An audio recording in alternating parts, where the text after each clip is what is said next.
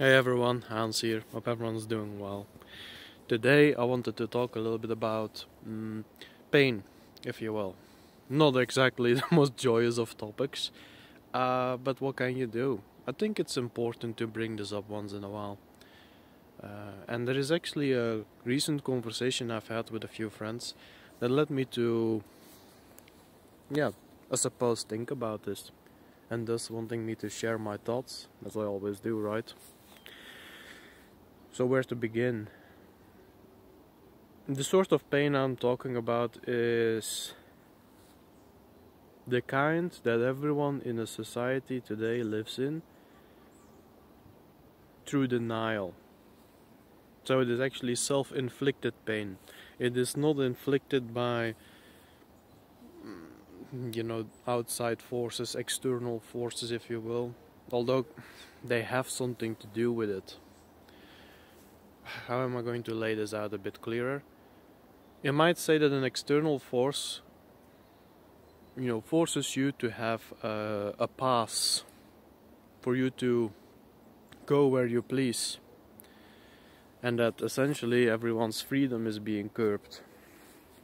The pain is inflicted by the lack of freedom, you might say, but that is. Mm, this is not entirely what I want to talk about. I'm talking because if you face that, if you face that, oh, this external force is hurting me by curbing my freedoms to simple things, you know, go for a walk, go have a drink in the bar for those who like doing that, for to uh, hang out with the children or just hang out with other people in general but then being forced to wear all kinds of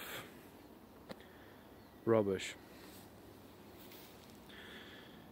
If you face that, if you can honestly say to yourself, yeah, this is not what I want, and it hurts me that I'll get in trouble if I do, if I refuse to do this, then the pain, if you will, is external. However, there are other types of people, right? Who will wear the accoutrements, they will follow the rules, but they pretend it's not there. They pretend that these new rules essentially are a good thing, that it is nothing to worry about, that everything is just fine as it always is and it's for our good, etc. etc. But deep down, these people know that is not the case but because if they face the reality that their freedoms are being curbed, something inside of them demands that they do something about it. And I'm perhaps being a bit harsh, maybe, but I'm gonna use the word cowardice. Is that they are too cowardly to face the reality of things. They're too cowardly to face the reality of things because they're too cowardly to take action upon the perceived reality that they face. Seems like a bit of a mouthful, but it's really simple, right? I think everyone can follow, or should I give an example? Let's say for a few. You know, let's say for young people, you know, to whom this is a first. Uh, it's a bit of an extreme example, but let's go with someone who is enslaved let's say you're a, a white French guy in let's say the 17th century and uh, the Barbary pirates excuse me the Barbary pirates are going along the coastline to enslave people. And they so happen to catch this French white guy. They pick him up they clamp him in chains and off to the you know to the realm of the Barbary pirates it is, where he can. I don't know what they made him do. I guess build castles for them, teach uh, teach their children, be you know a throwaway soldier, a janissary like the Ottomans. They were also very fond of that. You know, stealing uh, white children, raising them to be janissaries. Bit besides the point. But let's say you're the French guy that we're going with here, an example. Let's imagine then that he says, he could choose to face that, oh, I'm enslaved now, I need to do something about this. And then, you know, all kinds of scenarios can pop in his mind. Being brave, doing something about it. And that would be a very good thing to do, in my opinion. But let's say this guy is a chicken and he is uh, unwilling, he's unwilling to face reality. So he says, Oh, this chain around my around my leg with the iron ball attached to it. That's that's just so I cannot fall from the ship that easily. They're doing it for my good. or hmm, what else is there? Like this this the whip on my back. That's just um, that's just to motivate me to work a bit harder so the job gets done. Right? It's all for the better. But here's the thing right? To be a slave will hurt any healthy, I guess in this example, white person. Other people's perhaps as well. Not my problem in the sense that, the, you know, every people has the right to take care of itself. I'm just looking after my own. And everyone else, I'm indifferent to it. I bear them as much joy as they can muster, and as far as they're hurt, well, I'm indifferent to it as sure as they are indifferent to mine. Or maybe even enjoy mine hurt, my people's hurt. Anyways, uh, so yeah, he. The, the slavery in and of itself is a painful experience, right? And that is an external force, the Barbary pirates in this example, who are asserting hurt unto those they enslave, on the French guy they enslaved think we can all understand that. But the one who is brave, the example where the Frenchman is brave, is the is where it remains external. you know, there can be physical hurt done unto the Frenchman in that slavery, but inside here, in his head, in his mind, maybe his heart too, if you will, his spirituality. There he remains untouched because that is something they cannot quite touch. However, the example where the Frenchman is cowardly because he knows that you know, deep down he understands he's enslaved, but he's going to pretend he is not and that everything is just fine. You know, as his new life now is, if you will. The Barbary pirates, let's say, they keep inflicting more and more injury onto them because they're cruel people, they're slavers, you know, they're despicable. So, let's say, you know, it's a chain at first, and, you know, he can still say to himself, oh, that's because I stay on the ship better, or, oh, that whip, that's just to make my job easier, because I work harder that way. Let's say it keeps being more vicious at some point, like they're taking his rations away and they're starting to say, you know, suddenly it's only lentil soup or something. It's just, oh well, you know, that's the that's a vegan diet. That's good for my health, right? I don't know or um, and then then he starts starving. But then oh, you know, his mind start, his physical mind starts deteriorating a bit as well.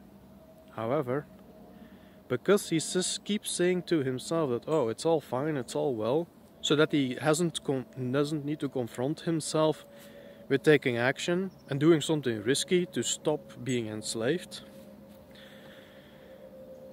He starts going mad. Does that make sense? He starts going absolutely crazy.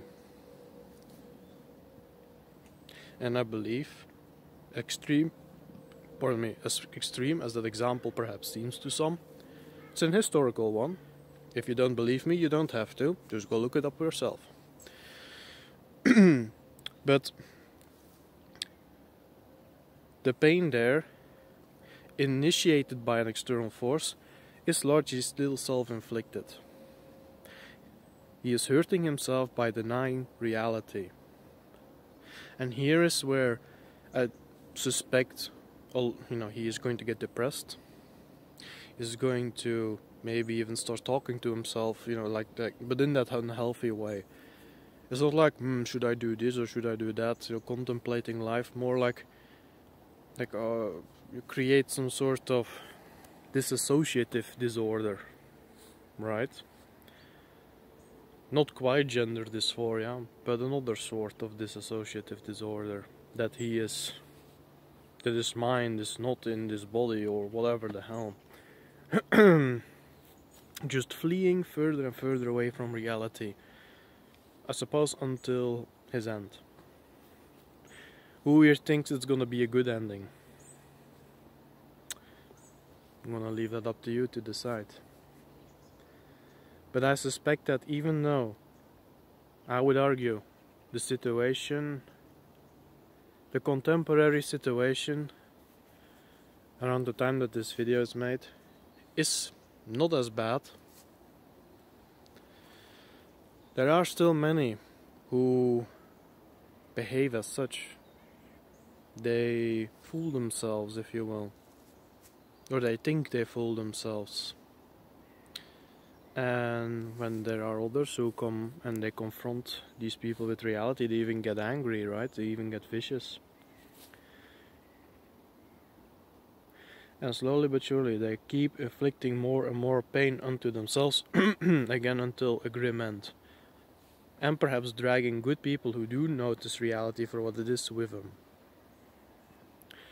Now, what's the entire purpose of this video? I just found it very interesting. And maybe it is to you too. I I mean I cannot say that, right? That is for yourself to decide. But it might just help some of us see things that they weren't seeing before or know, you know, what to make up of the mind of others perhaps a little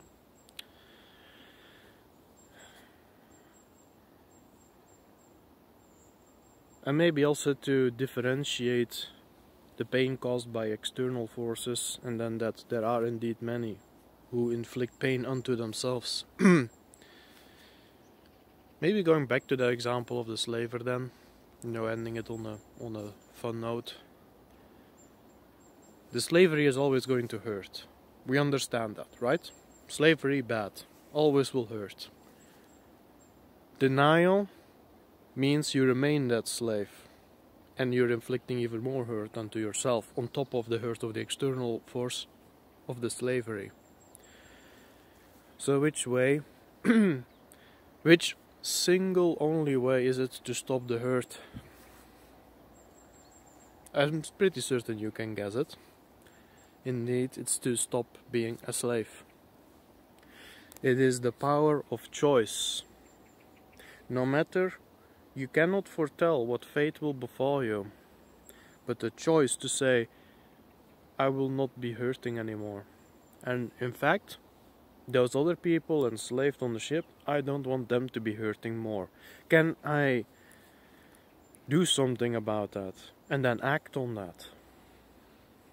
That is the only route to stop hurting and feel healthy again, feel whole again, heal feel hale again.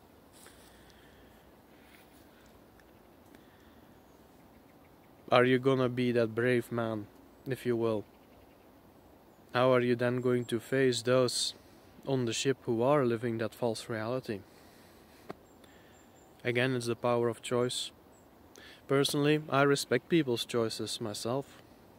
If they choose to live in denial, then do so. But don't expect anything from me. Those who, because you know, here's the thing if they deny reality, they will deny what I have to bring for them, anyways. They will be unappreciative. And why should I do something for someone who's gonna be unappreciative of it? Screw that. And I definitely dis you know, yeah. And as far as the, hmm. And that is what the Frenchman would do right if he is brave and smart. He will be around all these other slaves, and the ones who agree with him to be brave, who choose to be brave along with him, doesn't matter what necessarily you know what king they prefer or what merchant guild they're from and blah blah blah. Which fishing village they're from. No. What wine they prefer to drink doesn't matter. What matters is they want to get off the ship they want to get out of the herd. That is a good thing to focus on together. You don't even necessarily need to like each other all that much. So long as that common goal gets you out of the slavery, right? And then, either way, the slavers will have no choice. Once the slaves decide to be brave, they will have two choices. They let them run away, or they assert violence onto the slaves. Basically, as you know, you know, commit even more crimes, if you will. Now, in every good story, the villain always chooses violence because people just like a good, a good, um, a good bit of fisticuffs, I suppose, a bit of swashbuckling. and I suppose, let's say that the Barbary pirates in this example, you know, they see the slaves, they're like breaking their chains somehow, and they uh, they maybe push a few over the edge already, but the remaining Barbary pirates are like, "What is this? No!" And they pull out their their scimitars, their sa uh, their sabers, no, their scimitars, and it's going to be, I suppose, yeah, a bit dangerous. Not all the slaves that are brave may make it. But I can tell you this much. Being brave, it is the will, it's again the choice, to face even death. That is easy to say when you're safe and sound in the green like me. I know. However, I believe it is the reality of things as well. And this is all about facing reality, right? They don't need to, the slaves do not need to throw themselves on the scimitars either, right? Run away. Jump over the ship yourself and swim to the shore if you think you can. Wreck the ship before they take you out, whatever. So long as the slavery ends. Yet there will be those who will survive as well, no matter how it ends, for each individual. And that is why it counts. That is why it matters. Because those people will return to their lives and live it out happily ever after, hopefully. At minimum, they'll live it out absent of the pain that was about to be inflicted on them. Hey, a thing that matters. To say no to the cruelty of external forces and say no to self inflicted harm through denial and to say to yourself to have the self-respect that's also a big one. To actually have the self-respect to thump your chest for a second and say you know what? I'm a pretty good guy. I might have made mistakes in my life but I do by no means deserve to be treated in such a cruel manner by useless people who need others to work for them, not even at a wage. Or at a shitty wage, because even slaves have to eat, right? Is there something else I can add? Hmm. Maybe a little extra. The concept of external and internal is also something I've talked about with a friend, and I'm gonna leave him he's gonna make videos in the future himself or at least I'm trying to encourage him and he seems to the idea seems to appeal more and more to him seems to make more sense. I'm gonna let him do it at his time. But we talked also a bit about the external and the internal.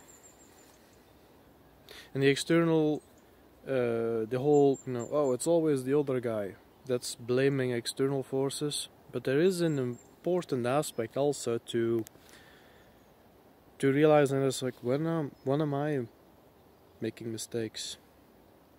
When am I wrong? And I think personally I'm not gonna get into it overly much in this video, but I believe that's also very important to realize. That plays into what I just said, right? Because if you can admit to yourself that you're wrong once in a while, of course, you know, when you're actually wrong. You don't just need to say it. it humbles. It humbles the ego, and that is actually a good thing. That makes the ego stronger, actually. And it will help you face reality.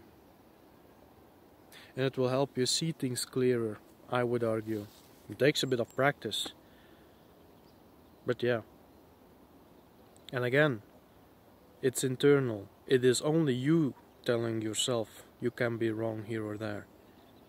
If you're saying that you're wrong just because everyone else says so, that's again blaming external forces, if you will. Seems a bit complicated, but it really isn't. You just need to give it. Go sit underneath a tree if you need that, and uh, let the wind brush through your hair. Close your eyes, and think about it for a second. It really does help. That's also, by the way, uh, something that a friend of mine has proposed to me once. It really does help. so yeah. Hmm. Is there anything else I can add? Mm.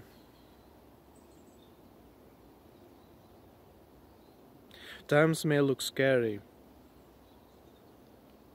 I am a bit scared myself, I suppose. But I choose to be brave. Partially why I make these videos, right? My face is out there. Anti-whites know my looks. And I, know, and I will probably pff, Need to watch my back a bit more often than I used to, although then again. These days having certain fair features, being of the white race is enough to be assaulted and all of that, right? So maybe it isn't that brave after all. What have you? But I still choose. And so can you. And it doesn't need to be big changes all at once. Take your time. Proving yourself. That is the big one. It almost seems like a cliche. It really isn't, however. Just doing right by others is something you do once you've got your own life straightened out. Doesn't need to be 100%, but enough. Enough for you to get by on your own. Then you reach out to others. That's especially for the men among us. As for the women, um, this may be another video I'll make at some point.